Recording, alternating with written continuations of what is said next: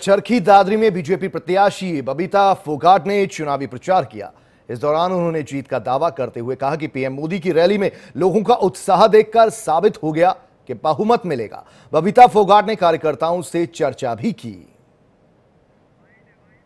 देख लो भाई पचास आदमी ले रही है रैली। ले काफ़ी अच्छा रहा है जन समर्थन जन सैलाब में की उमड़ के आया तो माननीय प्रधानमंत्री नरेंद्र मोदी जी का स्वागत कर रहे हैं। अभिनंदन कर रहे और बहुत ऐतिहासिक रैली मैं कहूँगी कि चरखी दादरी वालों ने बहुत ज़ोरदार स्वागत किया था, उसके लिए सभी ग्रामवासियों का मैं सबका मैं धन्यवाद करूँगी और माननीय प्रधानमंत्री नरेंद्र मोदी जी का भी धन्यवाद करूँगी कि उन्होंने एक बेटी की तरह मुझे आशीर्वाद दिया, मेरे को सपोर्ट किया और उनके लिए मैं उनकी तय दिल से आभारी रहूँगी।